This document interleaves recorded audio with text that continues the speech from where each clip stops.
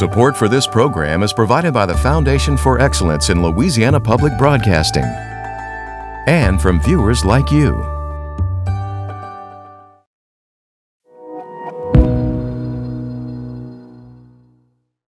Hello, everyone, and welcome to Louisiana Spotlight. I'm Andre Moreau, managing editor and anchor here at LPB. Tonight's topic, redistricting, has been hotly debated over the past few months, and it affects every single person in our state. Redistricting happens every 10 years once the U.S. Census is completed. The data collected is used to draw maps for U.S. congressional districts, state house and senate districts, as well as the districts for the Public Service Commission, courts, and the Board of Education. The 2020 census revealed that while Louisiana's black population increased by more than 3%, Louisiana's white population declined by 6%. These changes have created one of the most contentious issues in how the new maps should be drawn and about minority representation. Currently, there is only one minority majority district out of six in the state, seemingly giving black Louisianans only one sixth of the state's representation, even though simple mathematics shows that they make up one third of the population. But redistricting is not as simple as it might seem. Tonight, we'll take a deep look into redistricting, what it is, why it's important, and what it means for you. We're going to hear from legislators, citizens, and legal professionals who've been battling over these bills. And we'll also hear from stakeholders who bring up issues in redistricting that very few think about. But first, let's take a look at the history of redistricting in Louisiana and the Voting Rights Act of 1965.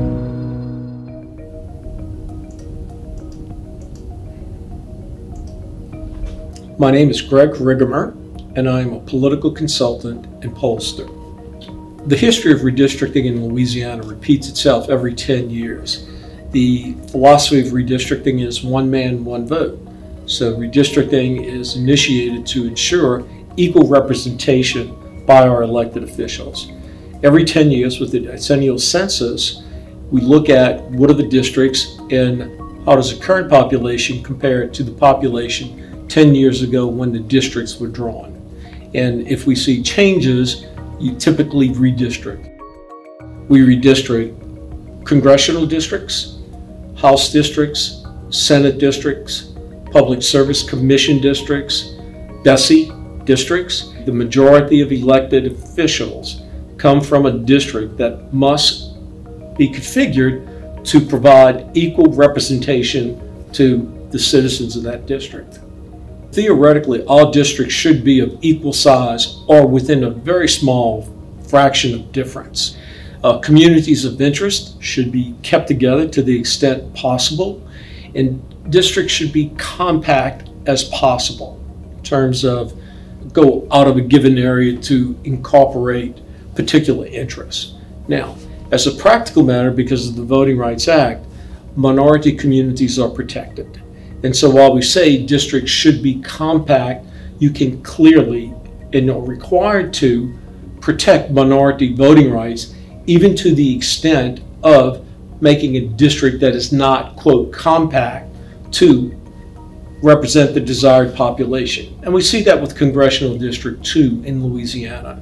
We stretch from New Orleans East all the way up to East Baton Rouge Parish.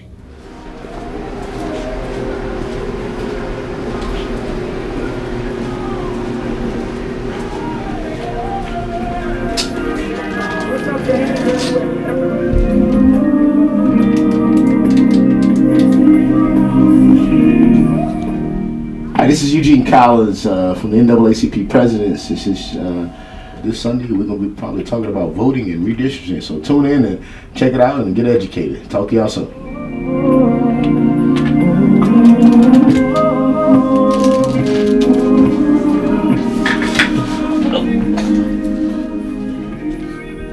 My name is Eugene Collins. I'm the president of the Baton Rouge branch of the NAACP. Our goal is to fight race-based discrimination, and we were founded by a multicultural group of folks that knew we would need an organization like this to continuously provide checks and balances as minorities started to gain more rights. The issues are almost identical, right? We've just found a new vacuum to put them in. John Lewis was marching for voting rights in Selma, you know, and we know around that time in the Voting Rights Act of, Act of 1965 in Congress, they were turning advocacy into actual policy at that point, right? It wasn't just a march. It is wrong, deadly wrong, to deny any of your fellow Americans the right to vote in this country. But when you saw John Lewis and Dr. King, and they were they were advocating for these things, and they were turning these things into policy, at that point, it was all about making sure that black folk had an equitable opportunity to cast their ballot, right? But what we leave out in that law sometimes is that it was also to make sure that there was no vote dilution. And vote dilution typically will come through redistricting, right? Making sure that those maps aren't equitable so that the minority vote doesn't count for the same thing as the white vote, right? And that's that's what it is in its core essence. Because this has always been about race when it comes down to vote dilution. And redistricting has always been a key to that. This country has always tried to make sure that the black vote didn't mean the same thing as everybody else um, whether it was actually physically stopping people from going to the polls, uh, or what we see today in 2022 of, hey, we're going to move this line on this map a little bit so that these folks can vote in this district that's 90% white and their vote means nothing. We know the African American population in this state increased. That means that there needs to be an additional minority congressional seat. That, that's just a fact there are two issues in redistricting. I mean, you have size and you have concentration. And so, as a practical matter, one third of the state is African American, but you have clusters of African Americans in the major urban areas, but distributed elsewhere. As a result, to get two African American majority congressional districts, you drop from 60 plus percent representation of African American in like Congressional District 2 to something that goes into the low to mid 50%. You certainly improve the opportunity to have more minority representation. Unequivocally, that's fact. The converse of that is in most large elections in the state, voter turnout among white voters is greater than African American voters. When you have a district that's 60% African American, that turnout differential isn't that great of a concern. When you have a district that's 52% African American, that comes into play. We have to mobilize black voters, you know, and, and but that is not a reason to not create something that's equitable, right? You can't say, well, let's not do this because they ain't gonna take advantage of it. Like you create a process and then you leave it up to the people to do the right things with it. But we shouldn't let what a population does dictate what we know is right to do. Maybe we don't turn out in the first few elections. Maybe it's 10 or 15 or 10 and 20 years from now when we actually get people uh, to move and see the importance of it. But if it's not in place, my son, our daughters, are going to be stuck fighting the same issues that we're fighting right now not progressing forward. Put it in place now. Let's work on driving folks to the polls. Let's make their vote mean something. If, if that happens, we could change the scope, the landscape, what leadership looks like. And that's feared for people that enjoy the status quo. And that ain't always white or black. Well, so there's a lot to unpack there. Clearly, the redistricting process is complex and it's nuanced. And joining me now to help us get a better understanding of the issues, and there are many, is Dr. Steven Procopio. He's president of Public Affairs Research Council of Louisiana. And Dr. Procopio, thanks so much for being here uh, to talk about this. We just heard some of the history behind redistricting to bring us up to date. But where do the maps and House Bill 1, where do they stand right now? Oh, first of all, thank you for having me. Yeah. Um, the maps stand where I think everyone, including myself, thought they would be in the courts. Uh, if you go and actually watch it with, uh, go and see what happened in session, it was less about the political angles and what was going to happen with the bill as it was what's going to happen when this eventually gets to court. And if you go, you can see the, uh, the Democrats and the civil rights groups were clearly setting out a trail of evidence to justify their case. And you see the Republicans on the other side were setting out their defense. And the arguments were less about, well, what bill is going to pass and what's the shape of it, as opposed to, well, what are we going to say in court? And will the court process be something that drags on, or will it be a, a short process? I would be shocked if it was short. Uh, there will probably be uh, some hearings to deal with the map immediately, like what's going to happen in the next election, because we have an election coming up soon. And so there'll be a series of motions and hearings over that. And what map do we use for that? And then probably a longer process to see, okay, what are we eventually going to use? And I suspect, uh, you know, that will probably lean toward either the current map or, you know, the existing map for the most recent or the election coming up. But longer term, it's a different game. Yeah, on one hand, redistricting seems like it's about math, uh, but there are real human lives at stake here and the values that come into play. How should we approach redistricting? Well, it, it really is a math problem, but it's not a simple math problem. There's lots going on. Uh, even if you just put aside everything else like representation and compactness, there are you know billions of different ways to draw equal size districts in terms of population. So there's lots of ways to do it. But then you have to look at sort of things like, well, what kind of districts do we want? And normally you want compact districts that fit around communities or towns or parishes. Uh, that's what you're sort of aiming for. But you also want equal representation. So you want to make sure there's no minority groups that are disenfranchised. You want to make sure they have a stake in the game. So it becomes very hard, and those things uh, fight with each other, and there's never going to be a perfect redistricting. We're going to show you now uh, Congressional District 2, which has come under fire for being gerrymandered, stretching all the way from New Orleans to Baton Rouge. So what exactly is gerrymandering, and is District 2 an example of that? Gerrymandering is very hard to define. And sort of common discussion, it's sort of a weird or funny looking district. Uh, legally, it, it can be very different. And you can have gerrymandering for partisan reasons, which isn't illegal. You can uh, you know, use the map to your partisan advantage, and the Supreme Court hasn't um, said that's a problem, or at least not yet. But racial gerrymandering is a problem. Uh, and so there's different ways that you can do that. You can push a lot of uh, the same group in one district to make sure uh, you minimize their impact or you can spread it out. So one is called packing and the other one is called cracking. And these are the different tools of gerrymandering.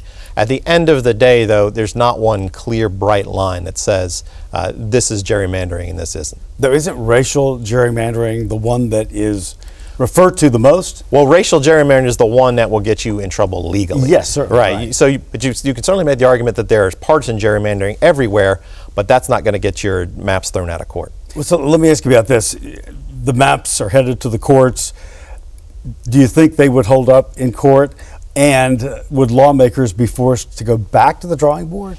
So the second question is easier. If they don't hold up, then they will have to go back to the drawing board with instructions uh, from the court that say you need to try harder to add another minority district. Um, so that's that's the easy question. Will they hold up or not? That's very difficult. Even for legal scholars, that's going to be a difficult question. Well, we've got the 2024 elections coming up, and so uh, it seems that this needs to be settled sooner than later, um, and the maps would need to be finalized. Uh, so I suspect that the court will probably be, um, you know, conservative and with small c conservative in, in the sense of they probably are not going to make us go back and redraw maps for the immediate elections. But for the uh, 2024, uh, probably you know there will either be a new map ready to go, uh, or this will be settled one way or another. It's possible it could drag on for many years. And if it drags on for many years, the maps, as we have known them, they remain. Correct.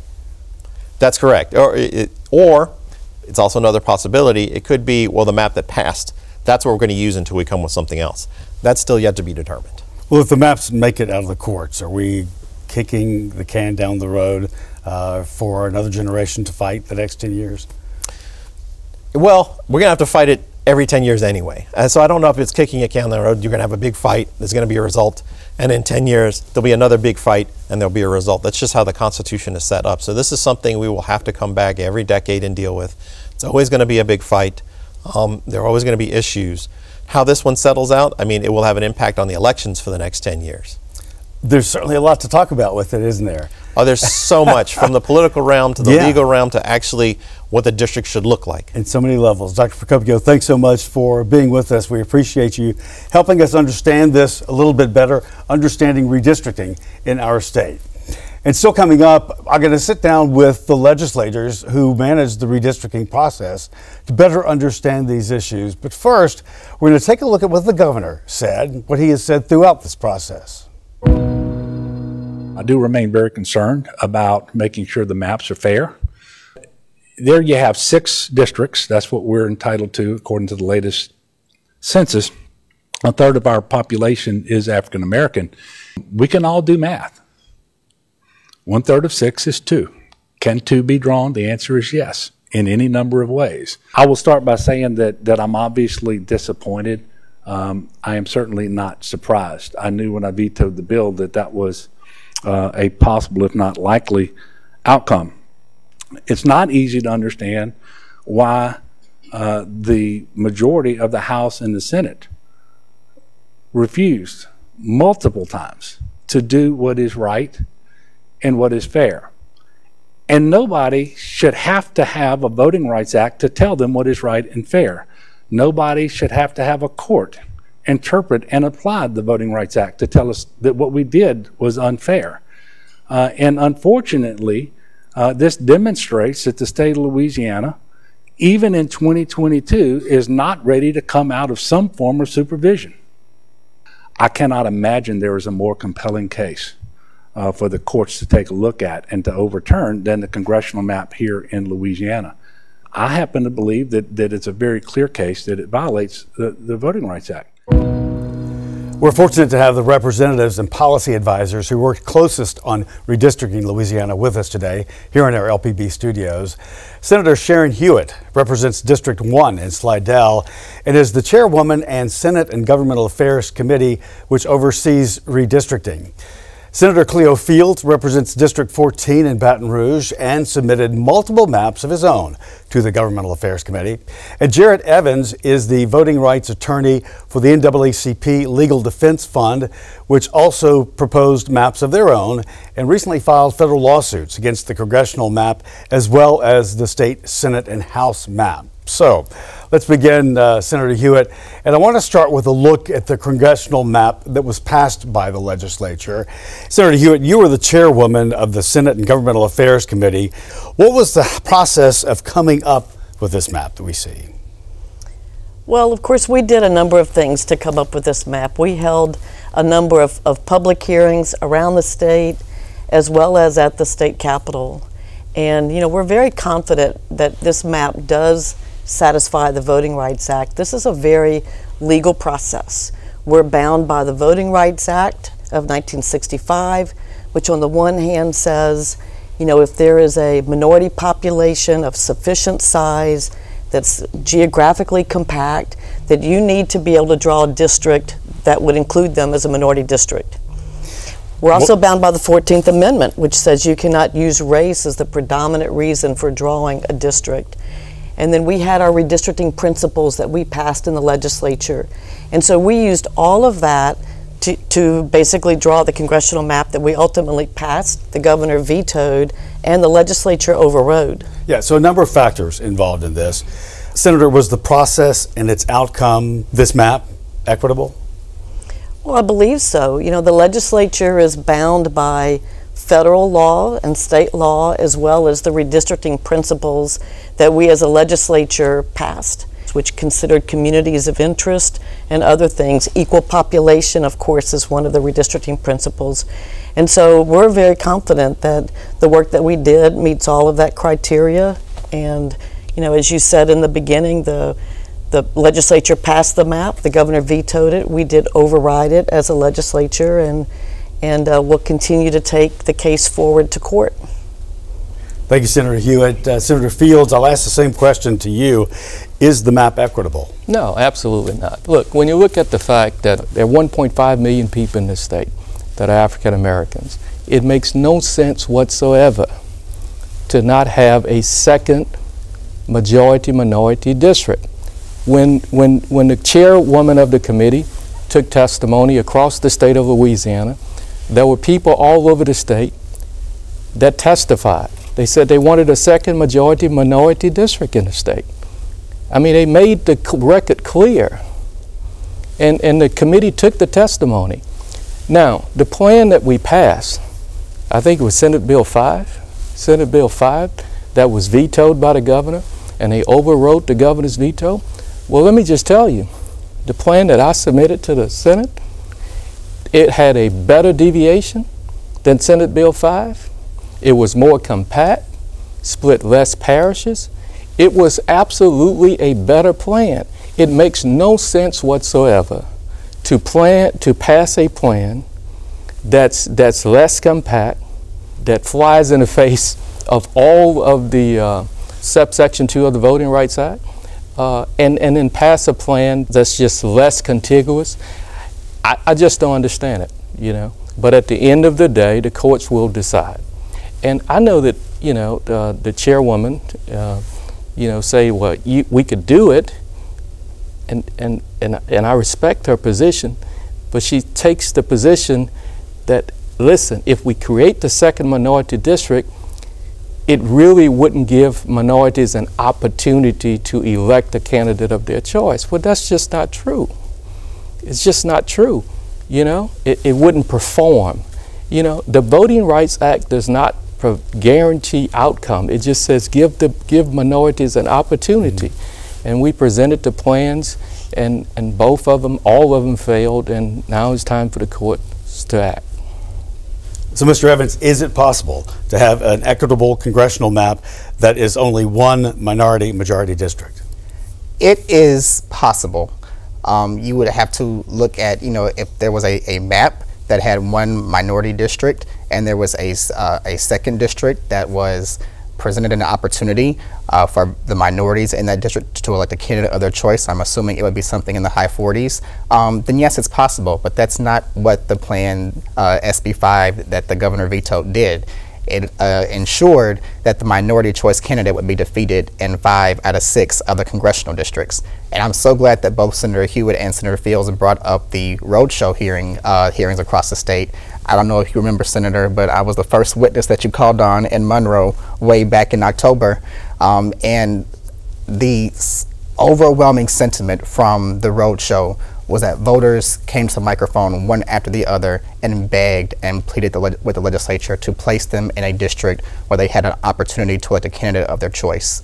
Um, in Monroe, voters came to the microphone and talked about our crumbling uh, infrastructure, how our roads and bridges were falling apart, and that only one member of our congressional delegation voted for President Biden's infrastructure package.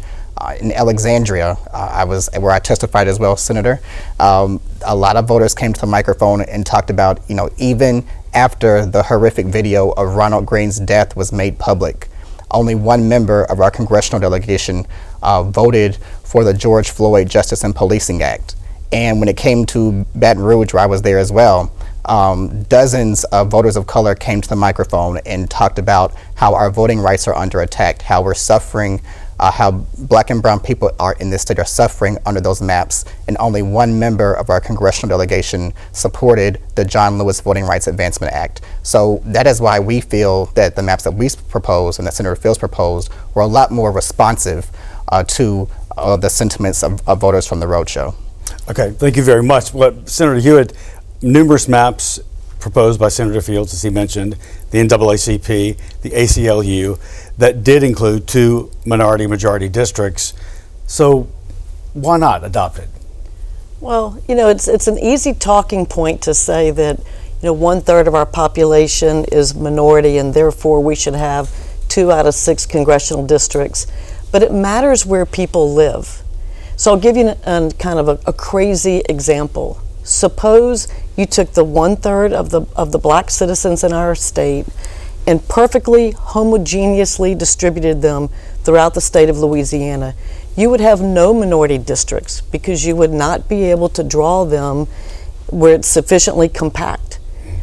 So, likewise, I appreciate the emotion around the Voting Rights Act and, and the, the right to vote and wanting to have a second congressional district, but it does matter where people live. And so, in, in my judgment, and I think the majority of the legislature, as evidenced by their voting on this bill, we could not draw two minority districts that we believed would perform as minority districts. Uh, the, the one district that we have, Congressional District 2, uh, performs, and we have evidence of that. It performs as a minority district. A second minority district would basically take minority voters from that district to be the base of creating an, another minority district. And you would end up with two minority districts that would really not perform in a way where they would be able to elect a candidate of, of their choice. All right, so Senator Fields, you hear that? I, I heard Your response? Yeah, I mean, it, that, that just it's just not right. It's just not it's not true. I mean, uh, the, the second district in New Orleans, as long as it's it's been a majority minority district, it has performed. Uh, the numbers has been, you know, we've run the numbers. It will perform under the plan that we presented to the legislature. That, with all due respect to the chair, chairwoman, she has no evidence to suggest that neither of these districts would perform. I mean, these district districts would perform, you know. And it and, and listen, when you give people an opportunity to to elect a, a candidate of their choice, they do. And, and, and, and that's all the Voting Rights Act provides. It does not guarantee outcome. And the chair, uh, chairwoman understands that, and she knows that. We were not in the legislature this session saying, give us a district that will guarantee an African American an election to Congress. No, we were saying, give us a district that guarantees African American an opportunity to elect a candidate, a candidate of their choice. Okay. Because that's all the Voting Rights Act provides. But instead of doing that, you know, it we, we have now five districts that will guarantee that, that, that blacks will not get elected instead of having two districts that blacks will have an opportunity to elect the candidate of their choice. All right, so Mr. Evans, let me go back to you now.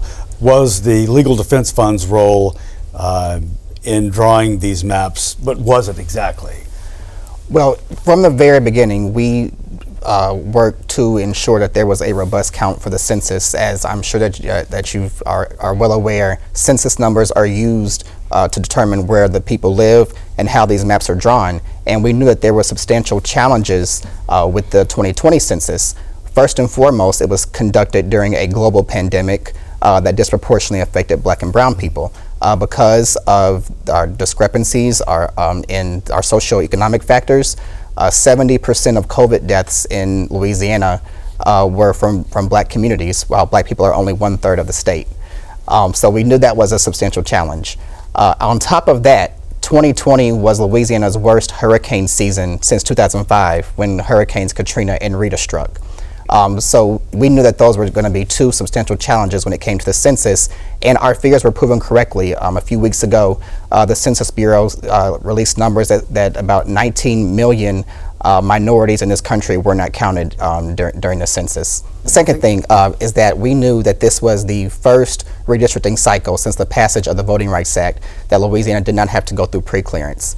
And in every previous redistricting cycle, uh, before the plans could be challenged in court, uh, they would have to go to the Civil Rights Division of the U.S. Justice Department for, the, for approval. Unfortunately, that provision of the Voting Rights Act, Act was struck down in 2013. Uh, so right now, all of us are parties to a suit in, in, federal court, but, uh, but if we still had pre-clearance, uh, we would all be waiting on the, on the Justice Department to give us a decision. But still doing it with a, a smile on your face and some camaraderie. Uh, Senator Hewitt, the governor stated that HB 1 did not meet the requirements and would inevitably be vetoed and come under litigation. So why pass this map if you know it's going to go to court? Well, I think the maps would have gone to court no matter what they look like. Um, so you can't stop people from filing a lawsuit. But I, but we never would have passed a map that we didn't think would uh, withstand a court challenge. Because it was never my intent just to pass a map in the legislature. The end game has always been to pass a map that we thought could withstand any court challenges, and we believe that we've done that. Senator Hewitt, let me ask you this.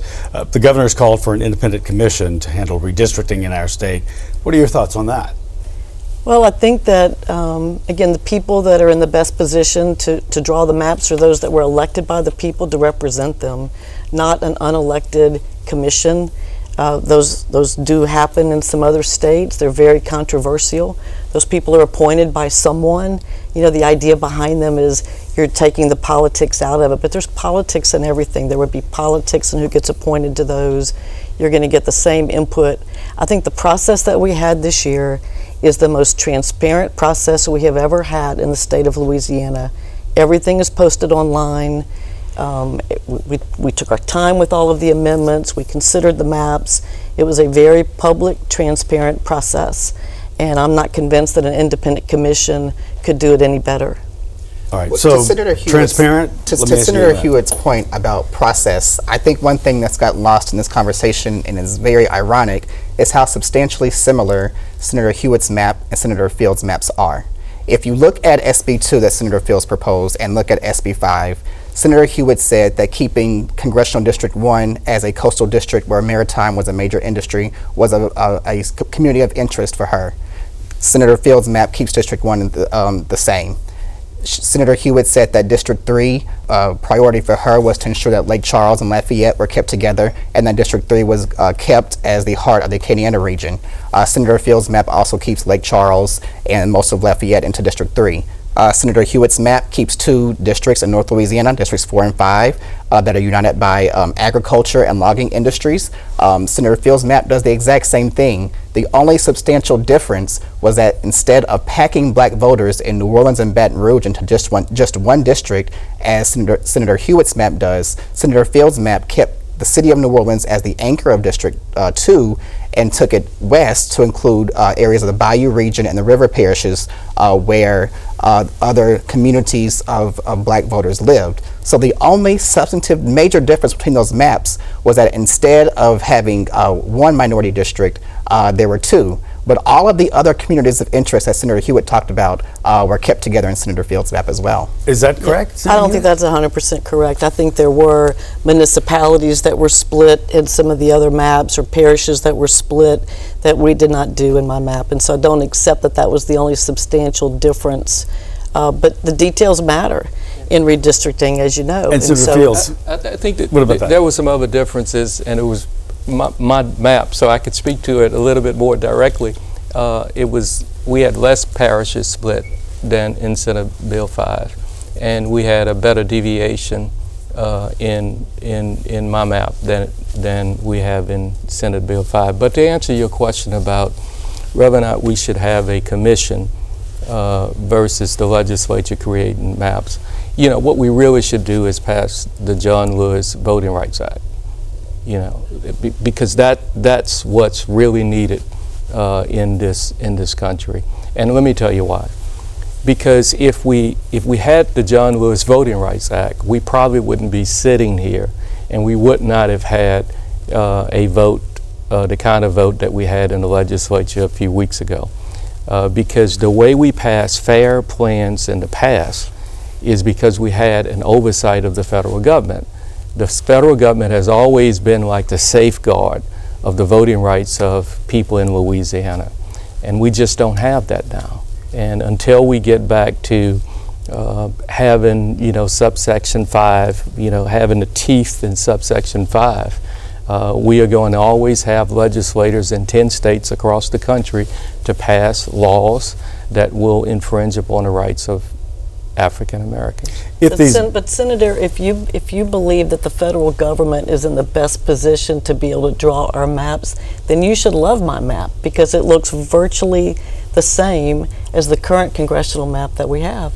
But at the end of the day, there's just no reason not to pass this bill other than this bill creates two majority minority districts. Now, if Section 5 of the Voting Rights Act was still enforced in Louisiana, there's just absolutely no way in the world the Louisiana legislature, both the House and the Senate, would not have passed that plan. to Senator Field's point, thanks to Senator Fields and uh, Representative Duplessis, who you're going to hear from in a second, and many other members of the Legislative Black Caucus, uh, we have a strong, robust, comprehensive record of racial discrimination in the passage of these maps. There was not a single point in the process, both in committee and on the floor, in the House and Senate, where the majority did not have a less discriminatory option that did not pack black voters in New Orleans and Baton Rouge into one district. Uh, so we are we are very confident of the record that we built during the session, and uh, it's in the hands of, of, of, the courts right now.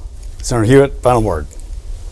Well, again, I, I think that the legislative process works. The judiciary will have an opportunity to weigh in, and I look forward to you know to that discussion. And it may be you know hopefully it's sooner rather than later so that we can resolve how to best run our congressional elections uh, this fall in 2022. All right. Thank you very much for being here, for your thoughtful input and your comments. And now for our final panel of the show, I'm going to be speaking with state representatives to hear their take on the redistricting process. But first, we'll take a look at the issue of redistricting, one that you may not have heard about. We sat down with Bruce Reilly, the Deputy Director at Voice of the Experienced, to learn more about his work on what is known as prison gerrymandering.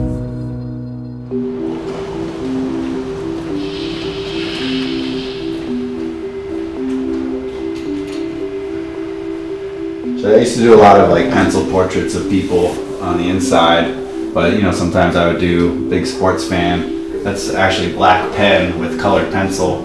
It's pencil. That's pastel. That's actually a self-portrait, believe it or not, when I was in prison. My name is Bruce Reilly. I'm the Deputy Director at VOTE, Voice of the Experienced. We have chapters across the state in Baton Rouge and Lafayette, and we do a lot around structural reform, around mass incarceration, and all the tie-ins with the criminal legal system. One of the things we've been trying to do for a few years now is raise the issue around felony disenfranchisement and around uh, the prison-based gerrymandering. And the issue is that you have people who are put into a prison or a jail and, and literally are counted in a place where they're being detained, which on the one hand, someone would say, well, that's just like a factual thing. On the other hand, the reason why they're being counted is for political representation. And so it's really this perversion of saying like, you're gonna count me and give me more power based on these folks that I'm holding, but people who are counted inside of prisons as residents of that district, they're not given that opportunity to persuade or vote for what should be done. And even worse so, the person who is elected in that area has actually a pressure to maintain that industry which in this case is the industry of detaining people, but in the end, the product itself are people. And in this state, and in most states, uh, uh unfortunately, disproportionately, that product is black men. Prison gerrymandering happens in, I want to say all but about 10 states. Some states have, have rectified it. Louisiana, as, as I think everyone understands, is the most incarcerated state. But on top of that, We've got over 100 different places where people are incarcerated in our state. Our state is not that big, you know, when it comes down to it, from both population or, or geography. A lot of that came about because individual sheriffs over the years, back in the day, had their own chain gangs, their own jails. And so as those chain gangs became a force of revenue because they could rent out the workers, so we end up with all these different jails and prisons. And very interestingly, half of the people in Louisiana who are sentenced to state prison are sent into local jails with like a per diem fee. So it ends up becoming this like kind of subsidy. The biggest issue, sort of like mathematically imbalanced, would be where you have uh, the biggest group of people and then the, the most like rural area. You know, taking Angola as an example, you know, over 5,000 people. And anyone who's been up there knows that it's like super rural up that way. You know, like up in Allen Parish and Winn Parish and you know, there's there's prisons that are, you know, 1,500 people, and there's not a lot of people around, and so a thousand folks can really kind of throw off the uh, the, the, math of coming up with a, a balanced district. So, you know, the bigger the prison, the more incarcerated people, and which we have, uh, the more the math becomes a challenge. But I think because of the sort of mosaic that Louisiana is, it creates this level of analysis paralysis and this confusion and then people just say like, nah, I'll just leave it alone. in, in prisons and correctional facilities in the state, affecting not just uh, the inmates, but wardens, uh, employees. So up in Baton Rouge at the state capitol, there's a lot of bills. I think there's about 900 different bills. And, you know, we've got an interest one way or another in somewhere around 100 of them. And we brought this, this prison gerrymandering bill several years, and we brought it to the House Government Affairs Committee.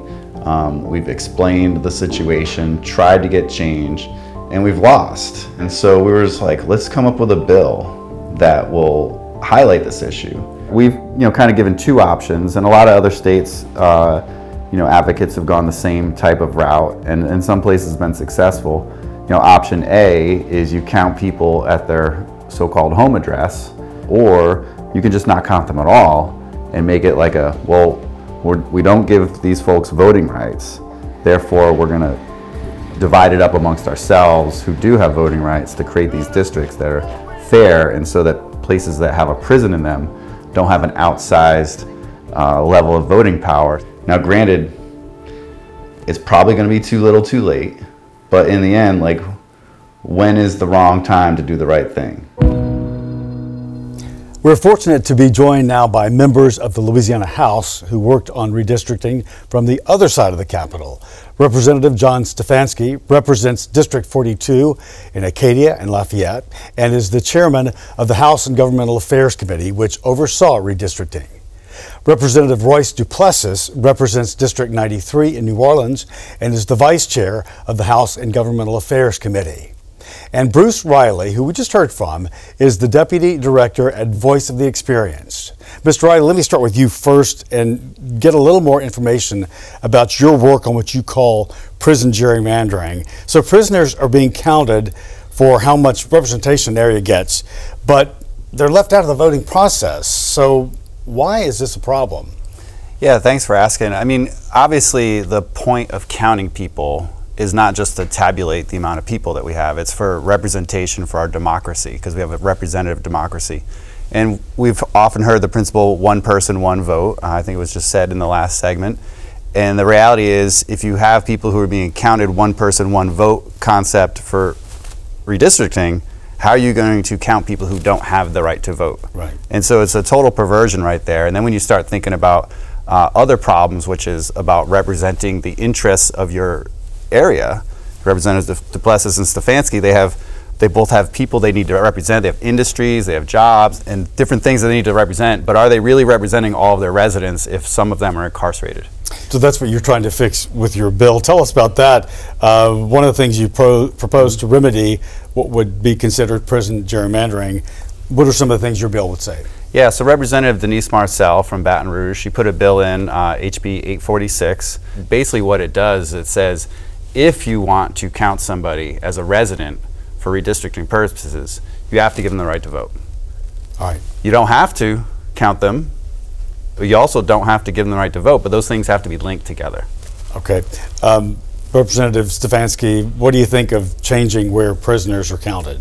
Yeah, you know, I, th- I think it's an interesting conversation. Um, there's a few other states that, that have done that, but it's it's important to take a step back and, and understand what the census is and how people get counted. You know, it's a it's a federal thing. You know, the, the federal government sends people and counts everyone, and the federal government counts you where you are. You know, so if you're currently incarcerated, they're going to count you there.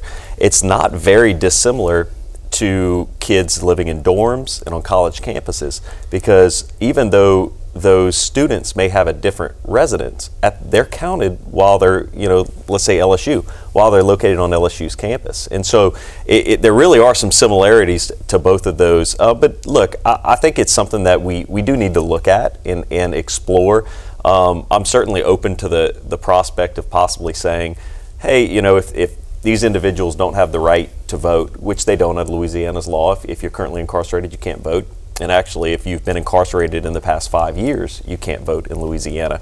And so um, I, am certainly open to that conversation. I think it's an evolving conversation, but not necessarily as black and white as just we either count them or, or, or we don't.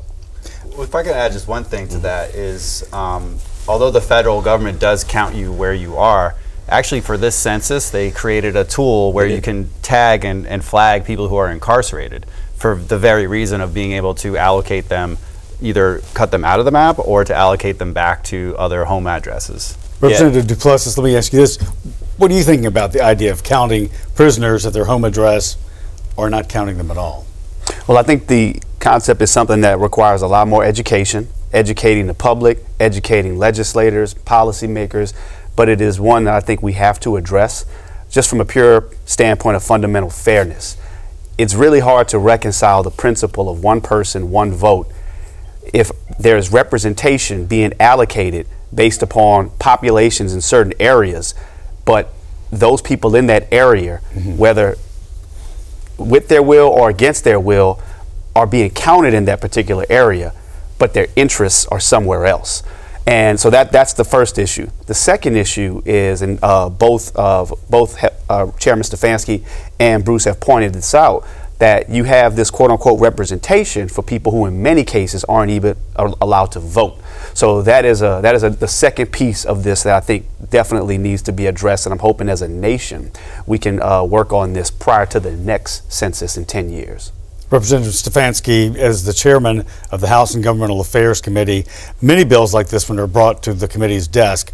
What is the process for hearing from different interests, such as Mr. Reilly's organization, and also applying it to the redistricting process? Look, as chairman, my, my job really is to steer the committee. It's to set the agenda. Um, it, it's to make sure there is, uh, you know, there's not too much infighting. Maintain maintain kind of the. Uh, the, the quorum and the and, and everything that goes along with that. And when you have um, bills that can sometimes, and not that this is necessarily one of those, but as chairman, when you have bills that can be controversial, when would that bring a lot of emotion? Um, really, my job is to kind of keep everyone in line and let all of the views be heard, not only from the committee, because my committee is made up of very uh, diverse individuals from very different areas of our state, but also from uh, those who are coming to testify, uh, like from his organization. And everyone should have an opportunity to have their voice heard, and everyone should have an opportunity to um, to let the committee understand why this is important because that's the that's what this is all about. You know, we take all of these different views, we hear them, we vet those views, and then ultimately we make a decision that we feel is best for our district and for the state of Louisiana, and we do that by voting. Representative Duplessis, the Black Caucus never veered from their request for a second black majority congressional district. Is it possible to have an equitable map with just one black majority?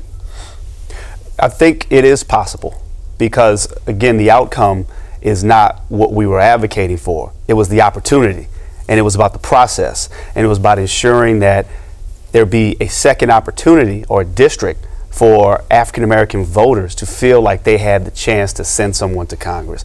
Whether or not they chose to do that in terms of an outcome, that that's not what we were fighting for. Uh, so I think it's definitely possible. And if you look at statistics from across the country, uh, there are districts that may be quote unquote majority minority, but they may not necessarily be represented by uh, a person of color. So we see examples like that. But I think the whole goal and the, the fight that the Black Caucus put forward during the redistricting process and that we're still putting forward was really just to create a second district where voters had an opportunity to select a candidate of choice. Well, creating a second black majority district would dilute the black population in District 2 from around 60% to about 52%. So, could the addition of a second district cause the opposite result and actually decrease minority representation? Well, we heard that argument being put forward. Uh, I don't accept that argument, quite frankly. Uh, there was no data or any um, any real examples to show why Congressional District 2 would still not be competitive or why Congressional District 2 would in some way lose minority representation. So uh, when you look at what we are losing as a state by not having a second congressional district, the concept or the idea that if we reduced one district uh, from 60 or 52, the numbers that you that you gave, that we would in some way lose both. I, I don't I don't uh, accept that argument simply because there were no examples to or, or, or, studies or data to support that in any in any way. We we feel confident that with the maps that Senator Fields proposed, with the amendments that I proposed, and many of my colleagues proposed, both districts would perform well to produce, in, in, in all likelihood, uh, minority representation. Mr. Reilly? Yeah, I think if you know, if someone were to check about, I think it's maybe 22 congressional districts around the country that are minority majority, and I want to say 20 of them have uh, a person of color representing them. Most of them are black majority, but some have some uh, Latino or Asian majority. So the idea that people in New Orleans, for example, uh, white people like myself who lives in New Orleans would not vote for black This is this is my representative right here. I voted for the guy, um, and you know that we're we're very familiar with voting for for black politicians, and one would say the same about Baton Rouge. And the the thing that, that sort of kills me about the whole, you know, one district. I don't can't think of a single state where you can take your two largest cities and turn them into one district. Like name another state where you've done that. These are two biggest cities and they have one district. But somehow, you know, and you want to combine also uh, Lake Charles and, La- and Lafayette. So I just feel like that alone should be something that the court is going to look at and say there's no reason why Baton Rouge and, and New Orleans should be one district. And, and, and I just want to follow up from this this point. You know, we get oftentimes lost by, in, in the numbers, and this was a numbers driven process because we used the data that we got from the federal census, and I think there's a good argument to be made that there was significant undercount. But separate and apart from any undercounts that may have taken place and the numerical argument, there was a, a, an argument of fairness. Even if it doesn't result in that outcome, we had an obligation to try. We had an obligation to put the effort forward. So, uh, whatever the outcomes may have been, I think as a legislative body, we could live with that. But I think our obligation was to put forth the effort. Representative Stefanski, then hearing all of this, is it time for an independent committee to handle this process or jump in? Well, so let's let's go to why the legislature does this. It does it because the Louisiana Constitution vests this authority with us, and so ultimately the only way to change the Constitution is to pass not only pass a bill, but to go back to the voters and let them decide. And what I would ask is that what's the motivation? Is is the motivation to take the politics out of this? If it is, I don't think you're ever going to do that because someone is going to have to appoint this commission. Those members of that commission are going to have political leanings and, and different diverse backgrounds. I mean, it's I, I would have to hear and, and it would have to be articulated to me what the purpose is. Um, I, I personally feel like, you know, we're the representatives. We, we've been elected. Uh, you know, my constituents sent me here, and, and they expect me, and, and they expect me to make the right decisions for them. And, and so I believe the system works. Um, if, if someone gave me a different reason other than taking the politics out of it, I, am certainly willing to listen. But it seems to me every time an independent, independent commission gets mentioned, it's, well, we need to get the politics out of this. And, and I frankly just think that's impossible. Mr. Duplessis, what would, what would you say about that? Well, when you're in the majority and you have the numbers to, uh, to, to get the outcomes that you're generally pushing for, I can see why my chairman would have that response. Look, let me, let me say this. I, I, don't, I don't totally disagree with the idea that simply having an independent commission removes the politics out of anything. I don't disagree with that. However, as it relates to the state house maps, the state senate maps, I think there's a, a different argument to be made there because in, in, in that instance, we are literally drawing the seats where in most cases we, we're looking to possibly be probably be running for reelection in those particular districts.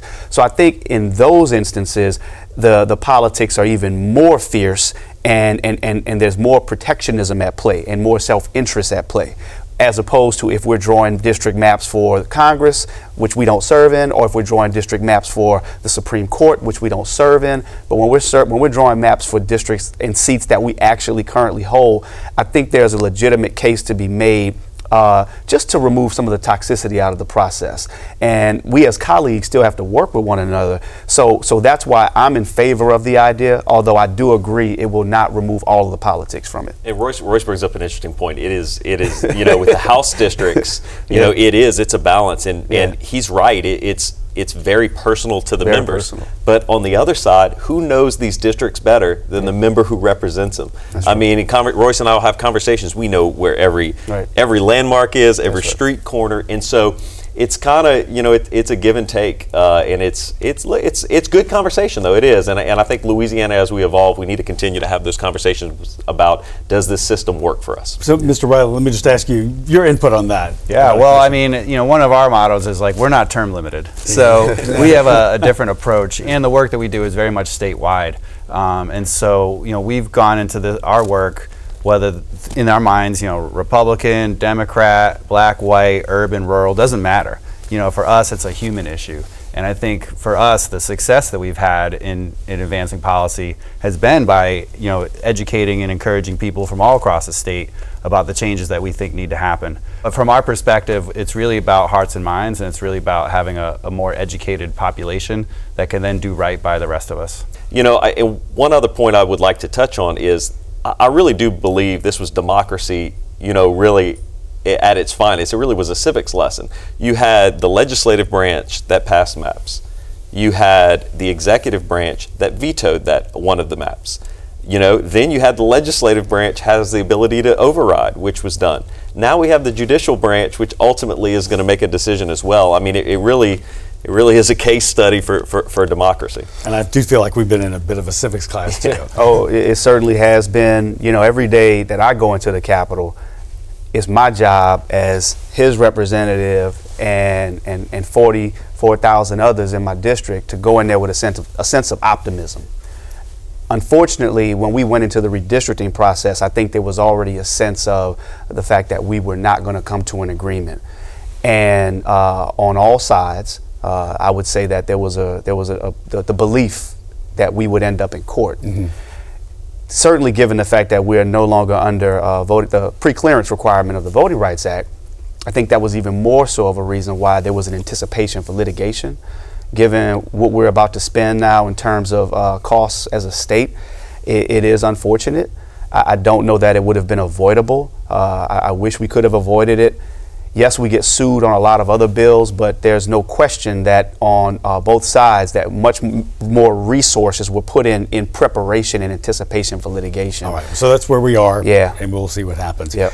Thank you so much for right. being here and sharing your thoughts. Uh, we appreciate it.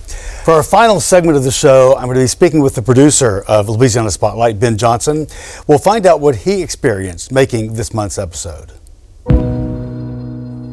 Uh, ben, thanks so much for sitting down to talk about this topic. And, and what is it about this topic of redistricting that made you want to focus a show like this on it?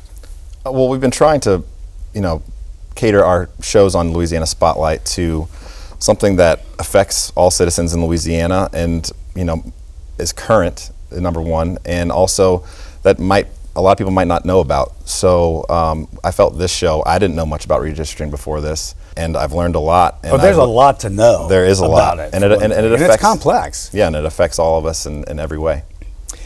What did you learn that surprised you? Well, the prison gerrymandering piece that I did, that really surprised me. I, I had no idea that, you know, prisoners getting counted for a district that they can't vote in had such a, an effect on the maps and, and what actually comes out. What about the future?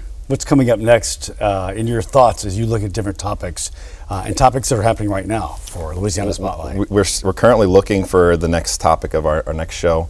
Um, and that'll be out around August. And also in August, uh, we're going to be releasing the documentary on our last spotlight that we did. So there's a lot of uh, exciting things coming out. Ben, thanks so much. All right, thank you. And we've run out of time for our discussion tonight. We want to thank Dr. Procopio, Senator Hewitt, Senator Fields, Representative Duplessis, Representative Stefanski, Mr. Evans and Mr. Reilly for sharing their thoughts on redistricting. And we encourage you to comment on tonight's show by visiting lpb.org slash Louisiana Spotlight and clicking on the Join the Conversation link. We'd love to hear from you. Thanks everyone for watching and have a good night.